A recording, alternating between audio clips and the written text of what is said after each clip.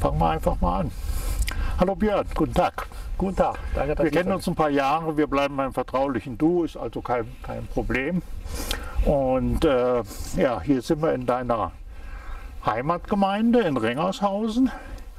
Hier hinter dem Haus des Gastes im Hintergrund das Modell der Kirche. Und was man jetzt nicht sieht, ist die originale Kirche natürlich ein paar Meter weiter am Berg. Rengershausen direkt an der Grenze, ne? Das ist so. Ist die Grenze zu Nordrhein-Westfalen und ein paar Meter weiter die Grenze nach Waldeck. Ja, die, äh, also historisch auch eine bedeutende äh, Gemeinde, weil hier war die Grenze dann zwischen, zwischen äh, zwei katholischen Bistümern, ne? also Köln und Kurmainz und äh, dann auf der anderen Seite das protestantische Waldeck. Das ist so, das ist, es war so, das hat die Geschichte von Ringershausen auch sehr geprägt. Gerade Richtung Köln, da merkt man auch die Sprachgrenze. Also wenn wir hier nur zwei Kilometer weiter nach Braunshausen gehen, die sprechen schon ganz anders wie wir. Ja, ja, ja. Und die Nune, ja, ist ein Zufluss der Eder ähm, relativ naturnah, wenn man das so zwischen Hallenberg und Rengershausen mal betrachtet oder auch dann weiter runter Richtung Eder, ein, ein, doch ein, ein, sehr naturnaher Fluss. Ne? Das ist so, ja. Also der, die Nune als Grenzfluss äh, ist ja schön, da erzähle ich immer, wenn ich hier vor Ort bin, wenn sie Hochwasser hat, ist Hessen ein bisschen größer. Und wenn es dann wieder niedrig geht, dann wird Hessen wieder kleiner. Ja, wir sitzen hier zusammen, weil du dich um das Bürgermeisteramt äh, der Stadt Frankenberg, Rengershausen ist ein Stadtteil von Frankenberg, beworben hast. Hat äh, früher äh, auch einige Irritationen gegeben, weil hier eine andere äh, Vorwahl war und eine andere Postleitzahl, glaube ich. Nee, nur die Vorwahl ist anders. Nur die Vorwahl. Die Vorwahl war dann drüben nordrhein-westfälisch. Ne? 02984, ja. Aber hm, wer braucht heute noch äh, Telefonbücher? um, Ja, war kein spontaner Entschluss, hast du mal gesagt bei der Pressekonferenz. Der ist so ein bisschen gereift. Äh, trotzdem musstest du um deine Kandidatur ein bisschen kämpfen, ne? Ja, also das, äh, der Gedanke reift schon länger in mir und ähm, es gab dann jetzt schon einige Hürden, die ich überspringen musste. Was aber normaler politischer Prozess ist. Also wir hatten, mhm. ist ja nun kein Geheimnis. Äh, du bist CDU-Mitglied, äh, tritt zwar unabhängig an, wirst von der CDU, von den Freien Wählern der FDP unterstützt.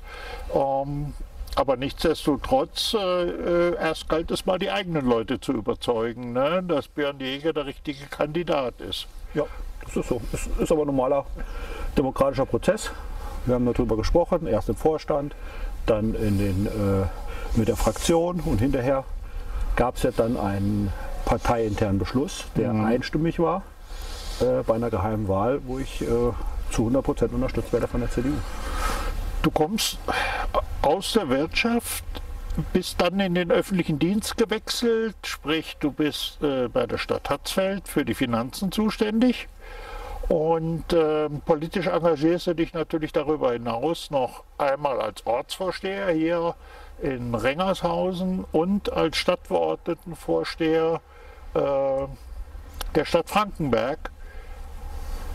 Bleibt dann noch Zeit für Hobbys? Ja, ein bisschen Hobbys habe ich auch noch.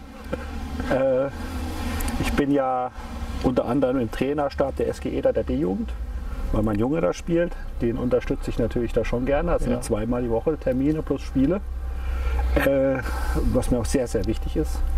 Und natürlich unterstütze ich hier die Vereine vor Ort. Das heißt, wenn hier im Schwimmbad mal ein Dienst zu machen ist, dieses Jahr habe ich ausgesetzt aufgrund des Wahlkampfs, aber sonst meist sonntags nehme ich dann gerne so einen Dienst mal wahr mhm. und mache dann Kassendienst. Das ist ja ein ehrenamtlicher betriebenes Schwimmbad. Ja, wenn, wenn einer Kämmerer einer kleinen Stadt ist, kennt er sich mit der Kasse natürlich aus. Ne?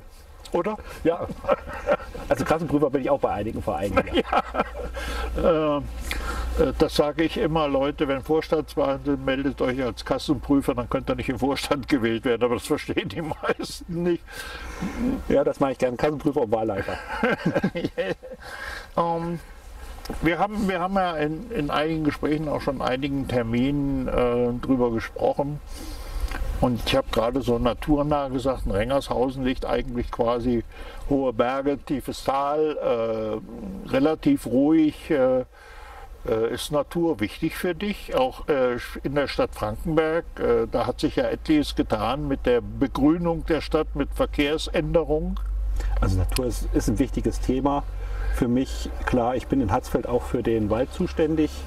Und äh, in der Stadt selber ist äh, ein Baum die beste Klimaanlage, die es überhaupt gibt. Also deswegen ist auch ein Punkt von mir zu sagen, Industriegebiet muss man auch mal gucken, dass wir das gerade Siegner Straße auch grüner machen, um auch da ein bisschen die, die Temperatur runterzukriegen und auch die Fußgängerzone. Da stehen zwar Bäume und das sind die Blumen, aber auch da müssen wir gucken, dass wir noch ein bisschen mehr Grün reinkriegen. Was halt, nur das ist mir halt auch wichtig, als Finanzer äh, nicht kostenintensiv bei der Pflege ist. Das heißt, da ja. muss man schon ein cleveres Konzept haben, dass man da nicht so pflegeintensive äh, Investitionen macht. Das ist natürlich Industriegebiet, stehen viele Lkw da, sind große namhafte Firmen in Frankenberg, die stehen manchmal einen ganzen Tag in der prallen Sonne, bis sie entladen werden. Da ist natürlich so ein schattiges Plätzchen äh, auch ein Fund, mit dem man ein bisschen buchern kann. Ne? Genau so ist es. Das sind schon ein, zwei Grad, die dann runtergehen. Ja. Und das macht das sowohl angenehmer für die Arbeitnehmer, also auch der Arbeitsplatz wird wieder ein bisschen attraktiver, als auch für die LKWs und was da alle ankommt. Mhm. Und das kühlt dann runter, ja. Jetzt hat sich Frankenberg in den letzten 30 Jahren also gewaltig verändert. Äh, und zwar eigentlich, äh, wer das von früher kennt, war es wirklich dieses kleine Ackerbauerstädtchen. Das war von vorne hässlich, von hinten hässlich. Ähm, inzwischen ist das wirklich ein schmuckes Städtchen geworden. Das ist natürlich zum einen äh, der Politik zu verdanken, zum anderen aber auch äh, Menschen, die das mitgetragen haben. Nicht alle, ähm, kommen wir nachher nochmal zu, aber auch Menschen, die das mitgetragen haben. War das, wenn ich sage, äh, der jetzige Inhaber, aber auch dessen Vorgänger haben immer versucht, die Menschen mitzunehmen. War das ein wichtiger Punkt? Das ist ein wichtiger Punkt. Also das ist auch ein, einer der wichtigsten Punkte, die ich äh, im Wahlprogramm habe, dass ich sowohl die Gremien alle mitnehmen möchte, noch mehr mitnehmen möchte, als auch die äh, Ortsbeiräte und auch die Ortsteile mitnehmen bei Entscheidungen, so dass man da eine breite Zustimmung hat und aber auch das Know-how der 18.000 Einwohner der Stadt nutzt. Ja, jetzt äh, kann man natürlich sagen, ähm, die Ortsteile ist immer ganz wichtig und jeder äh, Kandidat, Kandidatin sagt, ja, die Ortsteile sind wichtig, äh, aber das meiste Geld geht letztendlich nach Frankenberg. Ne? Das ist im Moment so. Im Moment haben ja. wir die Förderprojekte in Frankenberg. Wir hatten aber auch schon Förderprojekte vorher in anderen Ortsteilen. Also ich kann mich noch entsinnen, ich mache es ja nun 17 Jahre, wo Rottenau äh, Haupt Nutznießer war mit der Dorfentwicklungsprogramm, was halt wichtig war und der Umgehungsstraße. Im Moment ist es die Kernstadt und die Kernstadt ist auch wichtig, das ist das Aushängeschild und das muss auch weitergeführt werden. Ja. Aber die Ortsteile dürfen halt nicht hinten runterfallen. Ein, ein, Mitbewerber hat zurückgezogen. Das kann man ruhig sagen, der, der durchaus äh, Potenzial hatte. Das ist der Carsten Dittmer. Und der Carsten Dittmer gilt ja auch so ein bisschen als Architekt des jetzigen Frankenberg des Umbaus. Ähm, wird man diese Ansätze da, wo es richtig und wichtig ist, auch weiterverfolgen? Ja, auf jeden Fall. Also ich schätze den Carsten Dittmer sehr. Der hat gute, Gutes und, und viel für Frankenberg gemacht und macht er auch noch. Äh, und das sind sehr gute Konzepte entstanden und die werden auch fortgesetzt. Er ja. hat da auch viel, das muss man auch ehrlich sagen, viel an Geldern gespart durch die Förderprojekte, die er auch mitbearbeitet hat. Also das wird fortgeführt, wenn ich Bürgermeister werden sollte. Im Moment ist Frankenberg natürlich äh, eine riesen Baustelle, gerade Landratsamtgarten. Das ist das Konzept, das damals auch äh, zur Landesgartenschau erstellt worden ist. Öffnung zur Eder hin, äh, Renaturierung oder Öffnung der Nämpfe. Ähm, das wird mal so ein zweites kleines Schmuckstückchen neben dem äh, Ederpark und äh, also Eder Uferpark und, und der Wehrweide drüben. Das äh, ist ein Zusammenspiel. Das ist dann hinterher ein großes Schmuckstückchen, ja, aber ein wichtiges Schmuckstückchen. Also die Ederöffnung sieht man ja, egal wann man da jetzt vorbeifährt, ja. sind immer Leute da und das wird sich dann hochziehen bis zum Kloster. Ja, da sind wir wieder bei der Wirtschaft. Was da natürlich so ein bisschen fehlt, ist, äh, gerade äh, in Schönwetterperioden, äh, gut, jetzt hatten wir ein paar Wochen oder äh, noch ein paar Tage kaltes Wetter und Regen, soll ab nächste Woche wieder schöner werden, aber da fehlt es dann an der Tasse Kaffee, an den belegten Brötchen, äh, an so Dingen, wo, wo die Leute dann eben auch äh, nicht jedes Mal über die Straße müssen und bis in die Fußgängerzone zu einer Bäckerei oder so, um sich zu verpflegen. Also das ähm, sehe ich auch so. Und ich bin da auch sehr optimistisch, dass wir da noch jemanden hinkriegen, der auch dort eine Gastronomie macht, aber ich halte es auch in der Fußgängerzone noch für wichtig, dass wir dort mehr Gastronomie reinkriegen. Aber ja gut, äh, Fußgängerzone, das ist auch wieder so ein Thema für sich. Es war natürlich in den 70er Jahren schick, überall eine Fußgängerzone zu bauen, äh, so wie es schick war in den 60er Jahren in jedem Dorf ein Dorfgemeinschaftshaus zu bauen. Heute sind das äh, zumindest die Dorfgemeinschaftshäuser auf Klötze am Bein der Kommunen. Äh, weil sie einfach teuer sind und nicht mehr diese Auslastung haben, die sie vielleicht in den 60er, 70er Jahren hatten. Und was die Fußgängerzonen betrifft, äh, gerade in den Kleinstädten und Mittelzentren, oft zu kleine Ladenlokale heute. Ja, aber es funktioniert ja, wenn man sich mal in Marburg anguckt zum Beispiel. Es gibt Kommunen, da funktioniert das, da muss das Umfeld halt auch stimmen. Mhm. Wir haben die Baumaßnahmen jetzt gemacht, in der Fußgängerzone, das läuft. Jetzt muss man die nächsten Schritte machen. Deswegen ist es total wichtig, dass die TAM dahin kommt, damit wieder junge Leute auch in die Fußgängerzone ja. kommen. Und dass man dann die nächsten Schritte macht, dass man auch die, die noch leer stehen, dass diese dann auch belegt werden. Mhm.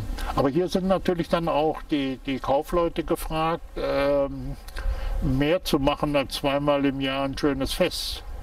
Ja, das ist eine Kombination aus Kaufleuten, es ist auch mit einigen Vermietern, muss man sprechen, die nicht aus Frankenberg kommen. Ja. Ähm, wo man sagt, okay, ihr kriegt in Frankenberg auch nicht die Mieten, wie man sie in München oder in Düsseldorf kriegt. Äh, das ist ein Thema, da muss man äh, dran arbeiten.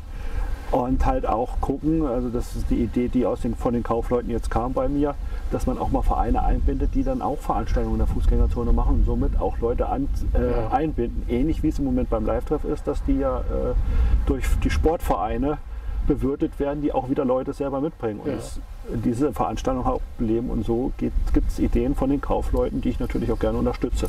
Jetzt war natürlich hat man ein Problem war Corona, da äh, lag das kulturelle, das Vereinsleben, Veranstaltungsleben so ein bisschen im Argen.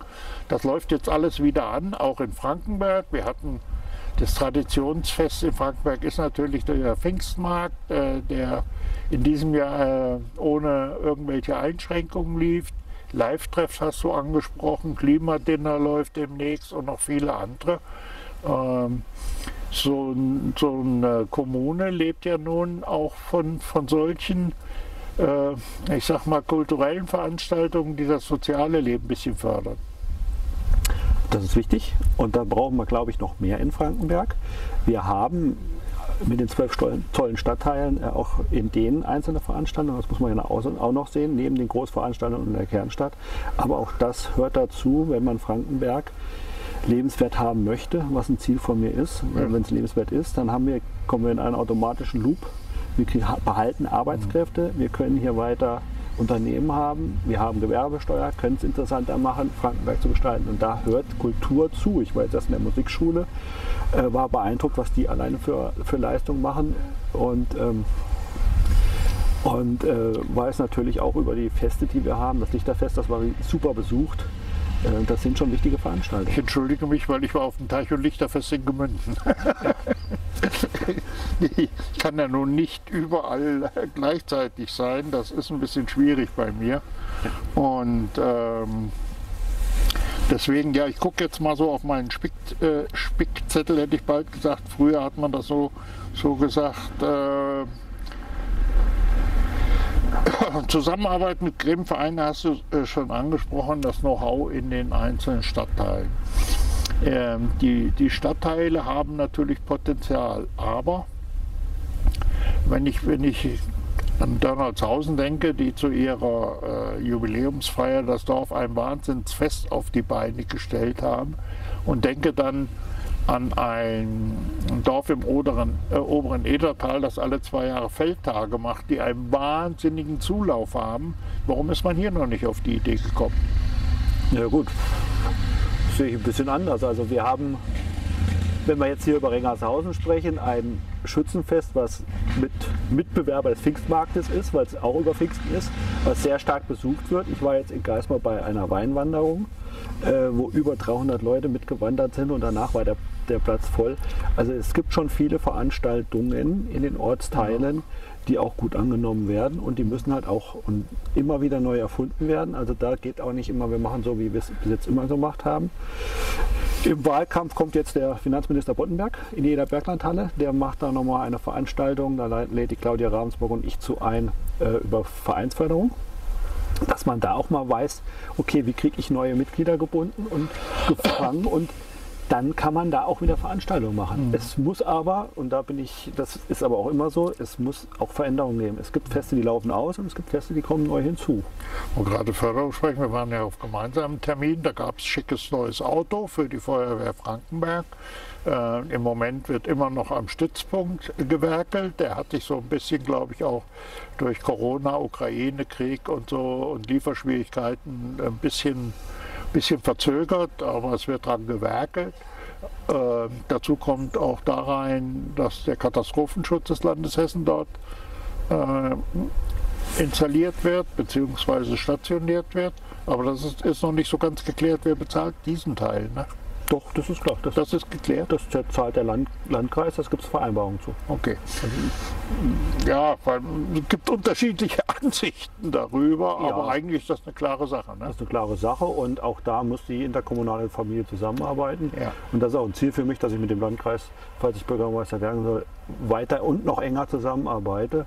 Und auch da gibt es Lösungen. Da muss man lösungsorientiert arbeiten, weil das ist eine wichtige Sache, auch der Katastrophenschutz. Ein großes Thema in Frankenberg war das Philipp-Soldan-Forum. es war so, dass, äh, äh, da wurde jeden Tag eine neue Sau durchs Dorf getrieben, aus irgendwelchen Gründen. Der jetzige Bürgermeister mit Schmähung und Anzeigen überzogen und was weiß ich nicht alles. Äh, also letztendlich ist es eine gelungene Halle, sag ich mal so von außen her. Äh, ich glaube, es fehlt immer noch der Türöffner für die Behindertenzugänge. Der ist damals vergessen worden, die Tür geht schwer auf. Ähm, war es eine richtige Entscheidung? Denn die Entscheidung hat ja nicht der jetzige Amtsinhaber getroffen, wir machen das so, sondern die Entscheidung hat ja die Stadtverordnetenversammlung getroffen. Also Frankenberg als größte Stadt im Südkreis braucht so eine Halle, ein, eine Halle oder Gebäude oder Forum, bin da ja, ich war ja auch bei der Namensgebung mit eingebunden oder durfte ja. die begleiten und habe von den Fachleuten erklärt gekriegt, was das bedeutet, was das Wort Forum bedeutet und dass das keine Halle mehr ist. Und sowas braucht die Stadt Frankenberg schon. Und das ist eine gute Halle geworden.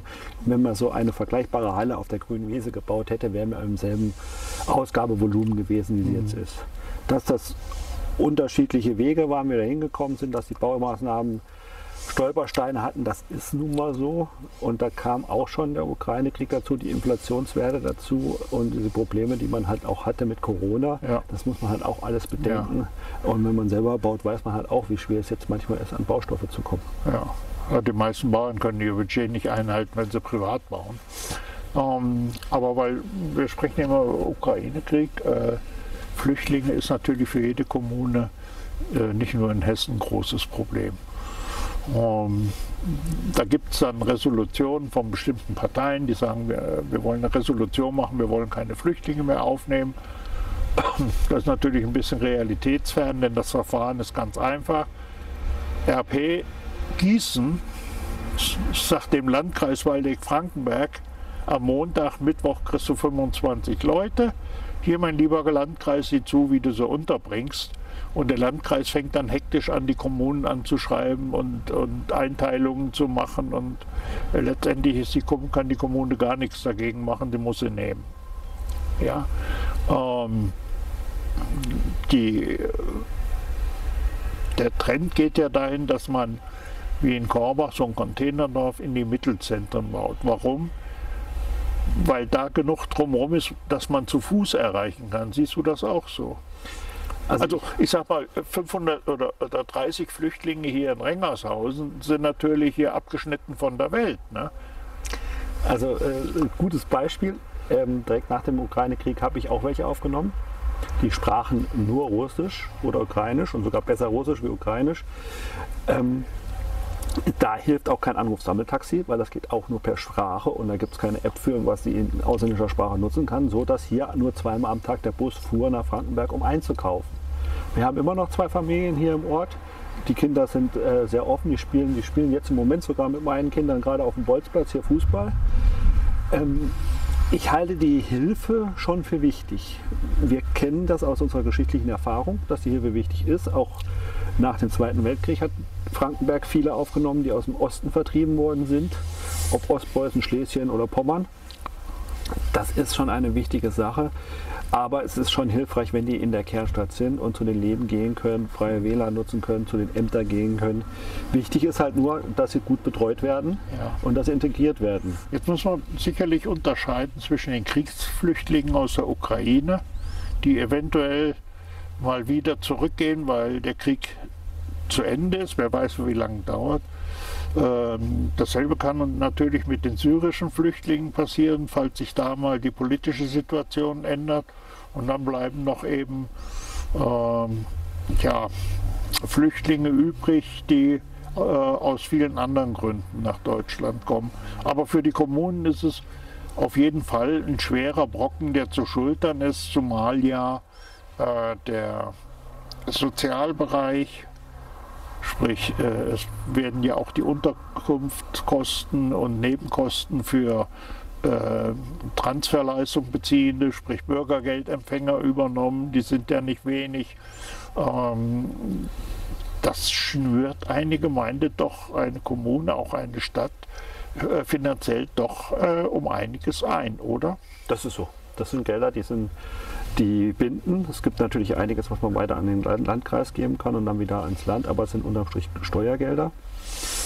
Ähm, deswegen braucht aber eine Gemeinde, gerade wie Frankenberg, die so flächenmäßig groß ist, auch die Unterstützung von Vereinen. Ähm, ich habe ja eben schon mal erwähnt, ich bin ja bei dem SGE da tätig. Da ist fast ein Drittel äh, Kinder, die nicht aus Deutschland kommen. Das heißt, da wird eine riesen Integrationsarbeit gemacht. Und ja. gestern war ich mit der NABU unterwegs. Äh, auch da wird riesen Integrationsarbeit gemacht und das fängt bei den Kindern an. Und da bin ich der Meinung, das ist genau das, der richtige Weg. Aber wir brauchen halt die Vereine, dass man da die Menschen abfängt, wo sie auch ihren Spaß dran haben. Ja. Und nicht mit Pflichtveranstaltungen in irgendwelche Sachen reingehen und das überzwingt. Und wenn die dann äh, äh, eingebunden sind, dann läuft das auch. Also wenn wir jetzt sagen, okay, wir gucken uns die Italiener aus den 50er und 60er Jahren an oder die, die türkischen Mitbewohner, die sind hier angekommen. Ja, die, die sind zum Teil Bundestagsabgeordnete in der die Enkelgeneration. Ne? Ähm, liegt aber auch daran, meine Meinung, dass, dass sehr viele der äh, türkischen Erst äh, äh, ja, der Gastarbeiter, wie sie damals hießen, äh, aber auch der Italiener aus Spanien und Jugoslawien, sehr schnell erkannt haben, äh, was man für Chancen hat, wenn man seine Kinder zur Schule schickt und Sprache lernen lässt. Äh, und da hm, fehlt es bei manchen Immigranten noch so ein bisschen an dieser Erkenntnis, denke ich mal. Ja. ja, wir hatten angesprochen, es gibt äh, Rengershausen hat ein Schwimmbad, Frankenberg hat sogar zwei, ein Hallenbad und ein Freibad. Und das war es eigentlich schon mit den Schwimmbädern. Äh, das Hallenbad ist auch so ein bisschen in die Jahre gekommen. Ne? Jein. Ähm, ich bin ja im Stadtwerkeaufsichtsrat, also obenrum ist es, also im Schwimmbereich sichtbar, äh, ist ja saniert worden, er ist ja in einem guten Zustand, aber wenn man von unten mal geht, also gerade wenn man im Freibadsbereich ist und dann unten unter der Kabine mal nach oben guckt, also der Beton ist äh, die nächste große Investition, die ansteht, wo aber schon Überlegungen sind, dass man die wieder, dass man das äh, überarbeitet. Hm. Ja gut, wir haben ja ein Beispiel in der Nachbargemeinde äh, in der Stadt, wo man also äh, sich überlegt hat zu sanieren und dann doch für den Abriss inzwischen entschieden hat. Ne? Weil äh, manchmal ist Sanierung deutlich teurer als der Neubau. Das ist äh, so, aber das sehe ich im Frankenberger Schwimmbad nicht so, weil okay. da schon ein großer Teil gelaufen ist. Und ich halte das, auch das Schwimmen für ein wichtiges äh, wichtige soziale Aufgabe. Es geht ja neben den Kindern, die in Frankenberg schwimmen gehen, natürlich auch die Soldaten von oben schwimmen. Und äh, als Rengershäuser. Wo müssen die schwimmen? Die sind doch nicht bei der Marine. Ja, das, das müssen die alle. Jeder geht auch, aber äh, Äh, machen die alle. Und äh, als, als Renger Säuser war das schon immer so, dass die, die, die Renger Säuser Kinder, die waren in der Schule schon immer äh, ziemlich weit vorne im Schwimmunterricht, weil die alle schwimmen konnten. Das ist Ja. halt ein Vorteil, wenn man ein Schwimmbad hat. Und Ja. wir brauchen in Frankenberg schon ein Schwimmbad. Das ist ein wichtiger äh, Punkt. Ja, Schulen. Schulen, also heute ging durch den Ticker, dass Hessen einen Investitionsstau, also die Schulträger einen Investitionsstau in ihren Schulen haben äh, und da zum Teil lange hinterherhängen. Ähm, Frankenberg hat viele Schulen, aber Gott sei Dank hat der Kreis da das Sagen. Oder das Bezahlen. Also der, die Schulen werden vom Kreis äh, betrieben. Das ist so, aber auch da möchte ich gerne einen engen Kontakt haben zu den Schulen. Die Wirken-Gerstenberg-Schule ist so, so, so ein gutes Beispiel, wo die dünnen Wände noch aus den äh, 70er Jahren sind, ähm, wo jetzt äh, geplant ist, einen Neubau zu gestalten. Und äh, da wurde ich als Stadtverordnetenvorsteher auch schon mal mit eingebunden. Also deswegen, also es ist wichtig, dass wir mit dem Kreis wirklich eng zusammenarbeiten bei den Schulen. Alleine auch schon, um die Kinderzahlen, die da kommen, auszutauschen oder auch die nächsten Schritte auszutauschen oder Baugebiete, wo die geplant sind, wo gehen dann die Kinder hin und, Ja. und, und, und. Ja, dasselbe betrifft natürlich dann auch die Kindergärten. Ähm, das ist so ein schönes Auf und Ab. Wir hatten mal eine Zeit, äh, da wurden quasi die Kinder mit dem Lasso eingefangen, um eine Gruppe voll zu kriegen. Inzwischen haben wir eine Situation, dass man sagt, wir bräuchten noch einen Anbau, wir bräuchten noch Erzieherinnen, Erzieher, wir bräuchten. Wie sieht das denn in der Stadt Frankenberg aus? Also da ist es auch ein Problem. Also Ge Geismar, weiß ich, ist am Limit. Ähm, Rottendau ist ein Extrembeispiel. Da ist sogar eine Gruppe in, der, in dem Sportraum drin und der Sportraum ist mittlerweile im DGH für die Kindergärten. Da gibt es aber schon Pläne zum, zum Anbau. Ja, Das ist, muss jetzt umgesetzt werden, dauert natürlich auch seine Zeit. Ich war jetzt beim DRK oben im Familienzentrum drin. Auch da läuft alles nach Plan. Die Zahlen kommen. kommen. Wir haben mit der Dame, die das bei der Stadtverwaltung macht, eine gute Dame. Die weiß da schon sehr früh Bescheid. Die holt sich die Zahlen aus den Krankenhäusern. Die weiß, wann die Kinder kommen. Also die Planung dazu steht ganz gut da. ja. Aber ich sehe eher das größere Problem bei der Gewinnung der äh, pädagogischen Betreuung. Weil da wird es immer schwerer, Leute zu kriegen, die wirklich Kindergärtnerin oder Kindergärtner werden wollen. Und da denke ich in Richtung eines Bonussystems, dass die günstiger an oder Vergünstigungen kriegen oder Förderungen kriegen im Bereich Bauen. ja. So, wenn sie in Frankenberg bauen, äh, als Kindergärtnerin oder Kindergärtner äh, Für die städtischen Kindergärtner. Wir haben ja alle. noch ein paar andere. Nee, das sehe ich für alle, weil wir brauchen für alle Bereiche Ja. brauchen wir Leute. Und ob wir jetzt das Rote Kreuz bezahlen, dass sie den Kindergarten machen und die Ja. geben uns dann höhere Kosten weiter oder keine, kriegen keine Leute und können nicht betreiben oder es ist Mhm. ein städtischer, das ist für mich der Griff gesprungen. Ich sehe das eher für generell für das Ehrenamt oder gemeinnützige Arbeiten, dass man da so ein Bonussystem kriegt, dass die günstiger am Wohnraum kommen. Jetzt hat Frankenau äh, eine Waldkindergartengruppe gemacht, aus der Not heraus, weil eben so viel da sind. Inzwischen ein, ein Burner, hätte ich bald gesagt. Ähm, Wäre das äh, für Frankenberg, äh, du ist ein bisschen weit bis zum nächsten Wald in Frankenberg, aber so eine Natur. Kindergartengruppe. Äh, wir haben ja da so einige Ecken oder Frankenberg hat einige Ecken, wo man sagt, naja, äh, wenn man ein- einen Bauwagen und ein äh, Bioklo, so wie in Frankenau, hinstellt und den Kindern Matschhosen anzieht, dann können sie, sag mal, Richtung Teichgelände da oben oder irgendwo ähm, auch so ein bisschen äh, eine Naturgruppe machen, um den ähm, ja, um die Gebäude zu entlasten mit, mit Gruppen. Also prinzipiell finde ich die Idee gut. Ist ja nicht nur Frankenau, hat ja auch Bottendorf oder auch Hatzfeld haben diese Gruppen. Und wir hätten auch Kindergärten, die die Nähe haben. Jetzt denke ich wieder an Geismar oder an den Wieger Gerstenberg Kindergarten, die am Randgebiete liegen. Ähm, finde ich gut. Würde ich jetzt aber nicht vorgreifen. Wenn ich Na, es geht ja nur darum, dass man Ideen abklopft Ja. und sagt, ja, auch äh, ich könnte mich als zukünftiger Bürgermeister auch mit so einer Idee anfreunden.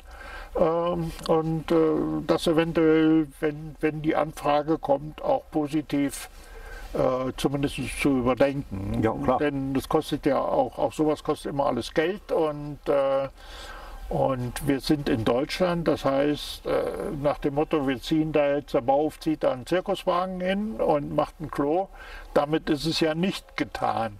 Richtig. Ähm, da ist der geringste Widerstand an Behörden vermutlich dann die Stadt Frankenberg und dann fängt es an. Das wird so sein. Aber wenn man da, äh, da halte ich es für wichtig, gut investiertes Geld, wenn wir in Richtung Kindergarten Ja. immer sprechen. Ja. Ähm, ein, ein großes Thema ist, ist natürlich äh, Wirtschaftsförderung, dass sich der Björn Jäger auf die Fahnen geschrieben hat als äh, Bürgermeister. Ähm, nun ist Wirtschaftsförderung äh, ja so ein Ding.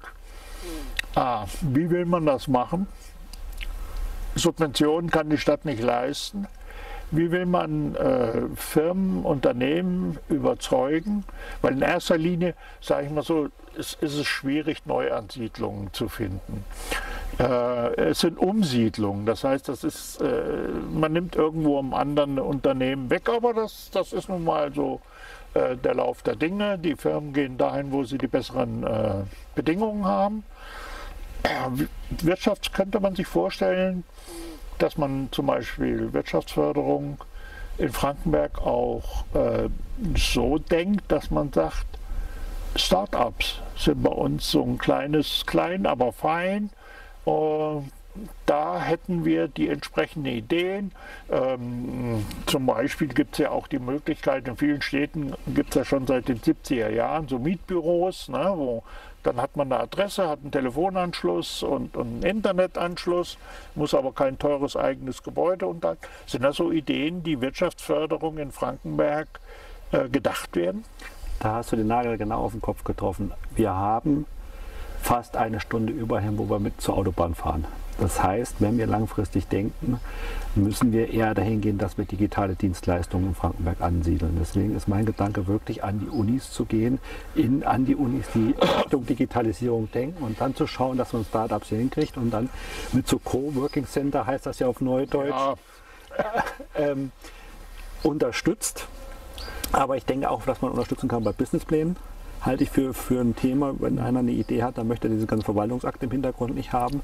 Wir können unterstützen, gegebenenfalls, das muss natürlich das Parlament am Ende entscheiden, durch äh, geringere Gewerbesteuer in den ersten Jahren. Wir können unterstützen bei Aufbau von Netzwerken, was ich, was ich als sehr effektiv halte, gerade aus meiner Historie. Ich bin über 25 Jahre in der freien Industrie nur hier im Frankenberger Land gewesen. Und wir können halt auch unterstützen, indem wir sagen, okay, wir gucken auch wegen Örtlichkeiten in Frankenberg Ja. oder halt auch in den Stadtteilen, Ja. weil da, da schon fast in allen sehr gut ausgebaut sind mit Glasfaser. ja. Oder da, wo kalt ist, äh, zumindest äh, via Kabel sind heute ein Gigabit überhaupt kein Thema. Ähm, weil- also, was haben wir selbst in alten Lothar? ähm, aber äh, auf der anderen Seite ist natürlich Wirtschaftsförderung äh, oft eine Frage der Fi- oder Start-ups und so eine Frage der Finanzierung. Banken tun sich heute extrem schwer, haben sie früher schon nicht ganz leicht getan, um das mal positiv auszudrücken. Äh, wenn jemand mit einer neuen Idee kommt, dann bleiben eigentlich nur die Förderprogramme der IHK, der WIBank, äh, der äh, RKW heißt sie, glaube ich. Äh, auf der anderen Seite gibt es in anderen Ländern so etwas wie Mikrokredite. Ähm, ich will das Beispiel sagen, am, am äh, Rad-Eder-Weg ist die Logistik äh, nicht vorhanden. Nun möchte äh, Frau X sagen, pass mal auf, ich habe hier einen alten Campingwagen, den können wir umbauen, das machen wir in Eigenleistung, aber so ein paar, paar Euro bräuchte und dann würde ich mich also äh, erstmal Freitag bis Sonntag äh, hier zum Beispiel in den Eder-Uferpark stellen mit meinem Foodtruck oder wie immer der Vogel heißt. Ähm, könnt ihr mir bei der Vermittlung von 2.000, 3.000, 4.000 Euro helfen? Weil, äh, wie gesagt, das sind so diese, diese Mikrokredite, die in anderen Ländern wunderbar funktionieren, weil das ist kein großer Verlust, falls es in die Hose geht. Und in der Regel können die Leute das auch gut abstottern in, in 10, 15, 20 oder 100 äh, äh, Euroraten. Also in die Richtung denke ich auch, dass wir da vermitteln können. Mhm. Eingreifen darf meiner Meinung nach eine Stadt nicht, aber vermitteln kann sie. Und ob das jetzt nun so kleine Mikrokredite sind oder auch größere ähm, Gelder sind, um Business Angel zu vermitteln, da glaube ich schon, dass wir da gute Karten haben. Ja. Alleine auch, weil wir das Netzwerk mit Fissmann haben, die in Berlin in diesem Thema ja auch sehr stark sind, beziehungsweise in München da sehr stark sind. Ja. Äh, und dieses Know-how sollten wir halt auch nutzen, dass wir da gucken, wie kommen wir über diese Wege in diese Creme, äh, Branchen rein, dass wir da so ein Netzwerk aufbauen. Mhm. Ja, jetzt haben wir schon fast eine Stunde rum. Aber gemeinsam nachhaltig vorwärts, das ist der Slogan von Björn Jäger für die Bürgermeisterwahl. Ähm, der müsse, ja gut, er kann selbst erklärend sein, er muss aber, muss es aber nicht. Der, da könnte man ja noch ein paar Takte zu sagen, Björn. Ja klar, also gemeinsam heißt für mich alle Frankenberger abholen, transparente Politik, inklusive der Ortsteile, mhm. Ortsgremien, die auch mehr mit einbinden bei den einzelnen Themen, heißt für mich gemeinsam. Nachhaltig ist für mich ökologisch und ökonomisch. Also wir können nicht äh, auf den Kosten der Kinder leben, der nächsten Generation, ja. sowohl in der Natur als auch in den Finanzenbereich. Das heißt auch nie mehr ausgeben, wie wir machen, wie wir einnehmen und halt auch bei Materialien gucken, wie man es im Privaten auch machen würde bei einer Straße, dass die lange hält, dass sie gut hält, dass sie ja. vernünftige Qualität ist. Und vorwärts heißt, wir sind im guten Schritt. Das hast du ja eben schon mal erzählt, dass Frankenberg sich gut weiterentwickelt hat in den letzten Jahren. Ja. Aber wir müssen immer weitermachen. Stillstand ist Rückstand. Jetzt hast du das so wunderschön Straße angesprochen. Ja. Ähm, das ist Hessen weit, Land auf, Land ab natürlich auch ein Dauerbrenner. Das sind die Anliegerkosten für Straßenrenovierung, Erneuerung, Neubau. Ähm, nun muss man immer unterscheiden, ist es eine rein innerstädtische Straße, dann ist die Stadt für zuständig. Ist es eine Landstraße und eine Bundesstraße, dann äh, fängt das an, dann, wenn dann neue Lichtmasten gesetzt werden oder der Bürgersteig neu gemacht wird äh, oder der Kanal neu gemacht wird, auch dann ist der Bürger dabei. Äh, da kann man die Kosten nicht einfach sagen, da auf die verzichten wir, die sind oftmals nicht sehr gering. Äh, nun sagt das Land Hessen, meine liebe Kommune, meine liebe Stadt, wenn du auf deine Anliegergebühren, äh, auf deine Anliegerkosten verzichten willst, darfst du gerne machen, aber du musst es gegenfinanzieren. Und das ist nicht mehr ganz so einfach. Ne? Das ist nicht einfach, aber wir haben das ja äh, beschlossen in der Stadt, dass wir Straßeninstandhaltungen, dass die gebührenfrei sind. Das ist jetzt zwei Jahre her. Äh, das wurde jetzt umgesetzt. Wir haben aber einige Straßen, die müssen wir instand halten. Das ist eine Aufgabe des Bürgermeisters, mit der Verwaltung erstmal einen Vorschlag ja. zu machen und dann äh, des Stadtparlamentes diesen Vorschlag umzusetzen, wenn sie den Haushalt genehmigen. also ich Ziel denke jetzt zum Beispiel an, an äh, die Leimenkaute. Ja. Äh, Ortsgrund Leimenkaute, die ja quasi auch so eine innerstädtische Verbindungsstraße ist, wo Gott und die Welt durchfährt wenn man von Friedrichshausen kommt, dann runter zum, äh, zur Stadthalle, also zum Philipp-Soldan-Forum oder äh, weiter zur Burgwaldkaserne, dass man, äh, da, da, fahren genauso viel Fremde durch wie, äh, oder Anlieger sind es eigentlich die wenigsten. Ne? Jetzt müssten theoretisch die Anlieger äh, ja die, nein, ich sag, bis dahin waren es ja nun, die haben für Fremde die Straßen bezahlt. Genau so ist es. Und das war ja auch der Grund, warum wir gesagt haben, wir schaffen das ab. Ja. Und wir haben halt Steuereinnahmen die sind ja nicht direkt gebunden und damit muss die Stadt jetzt finanzieren. Die müssen jetzt halt gucken, das ist nicht eine, äh, die Aufgabe ist nicht leichter geworden. Björn, zum Schluss möchte ich noch mal ganz kurz auf die Sicherheit eingehen. Ja. Ähm, damals wurde die Sperrstunde eingeführt, äh, was also viel Wirbel und böses Blut gegeben hat, aber anscheinend doch äh, einige Wirkung gezeigt hat kann man so sehen, ja, kann ich so nicht beurteilen, weil ich pflege mich nachts nicht draußen rumzutreiben. Ähm, andere Kommunen im Kreis sind zum Beispiel Mitglied äh, oder sind kom sogenannte Kompasskommunen, also äh, die hier ein Sicherheitskonzept haben und dementsprechend dann auch vom Innenministerium gefördert werden. Frankenberg hat sich da noch nicht drum bemüht. Ne? Nee, noch nicht, aber das ist so ein Thema, wo ich gerne dran möchte. Das ist, äh, ich möchte die Sperrstunde wieder abschaffen. Ja. Weil ich da eher sehe, dass darunter unsere Gastronomie gelitten, gelitten hat. Wenn ich jetzt an die ganz jungen Leute denke, die dann äh, auch nachts feiern wollen, die, die, nutzen auch nicht die Zeit bis 3 Uhr, sondern die fahren dann von, von Anfang an nach Marburg, Korbach, ja. Kassel ja. und bleiben nicht in Frankenberg. Und das okay. hat man, glaube ich, in den letzten Jahren schon gemerkt. Ähm, wenn ich aber, wenn wir Eingangssatz war ja schon die Sicherheit, in die Sicherheit in Frankenberg oder das Sicherheitsgefühl der Frankenberger Bürger, das habe ich sehr viel gehört, hat sich verschlechtert. Und da gibt es viele Bereiche, wo große Bedenken sind. Und da möchte ich schon gegensteuern, mit der Polizei enger zusammenarbeiten, aber auch teilweise auf neue Techniken mit Kamera draufgehen. Die ja, der Kompass zum Beispiel ist ja das es wird eine, eine äh, Erhebung gemacht, die, die wird ja vom Land bezahlt, ja. äh, wo zum Beispiel äh, Angstbereiche der Bürger sind in Befragung. Ich weiß, Bad Wildung hat einen relativ hohen äh, Rücklauf gehabt, Willingen hat einen hohen Rücklauf gehabt, Korbach, äh, dass man da schon mal Felder definiert hat, wo man sagt, da müssen wir mal genauer hingucken. Äh, andere Städte haben dann dazu den Freiwilligen Polizeidienst eingeführt, einfach um Präsenz zu zeigen. Denn man kann ja der Polizei nicht alles überlassen. Und äh, der Bürgermeister ist zwar der oberste Sheriff einer Stadt, äh, Chef des Ordnungsamtes, aber äh, auch da ist seine Macht begrenzt, äh, was er machen kann. Und man ist auf, auf Hilfe der Landespolizei angewiesen, beziehungsweise ähm, ja, wenn es sowas gibt wie, wie äh, Kompasskommune mit, mit einem Konzept, äh, gibt es natürlich auch die Unterstützung der Polizei oder ähm, ich, jetzt äh, Sicherheitsberater für Senioren, wo Frankenberg, glaube ich, noch vollkommen blank ist an der Stelle.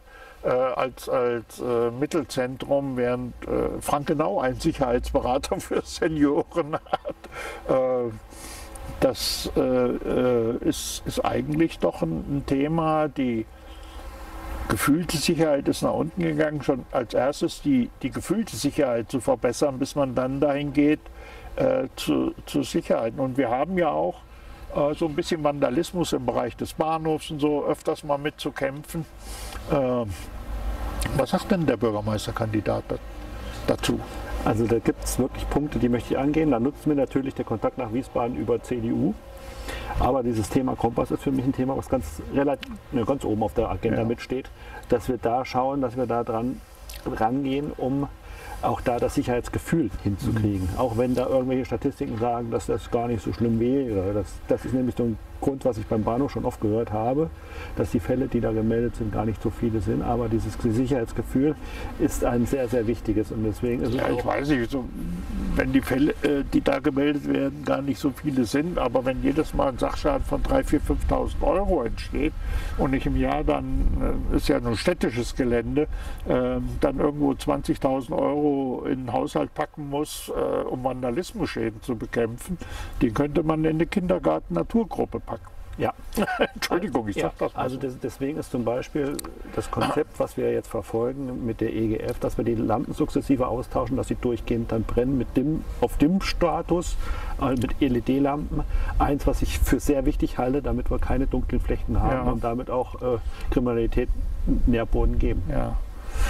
Ja, Björn, das war eigentlich, ähm, du hast am Anfang gesagt, du bist ein bisschen nervös. Hat sich das gegeben? Das hat sich gegeben, ja. Gut, dann ist es also jetzt so, dass wir entweder äh, nach dem 8. Oktober mit dem Bürgermeister Björn Jäger noch mal kurz reden oder auch nicht. Das ist nun mal bei einer Wahl so. So ist das genau. Ähm, wenn man sich selber einschätzt, ist natürlich immer schwer und gerade bei der Urwahl ist es extrem schwierig.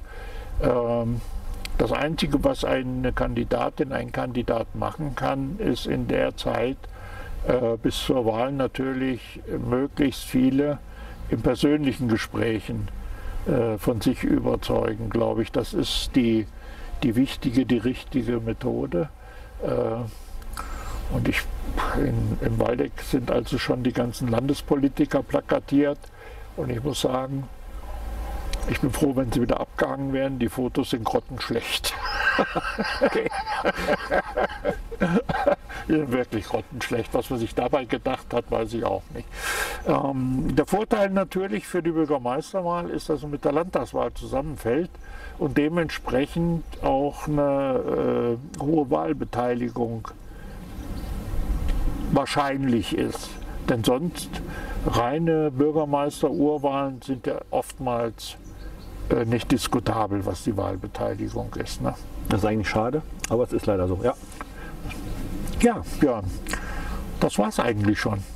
Vielen Dank für die Zeit, für das Gespräch.